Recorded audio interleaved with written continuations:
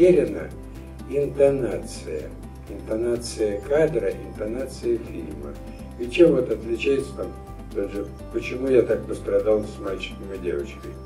Ведь там не изменено ни одного слова по сравнению со сценарием, который был с восторгом принят.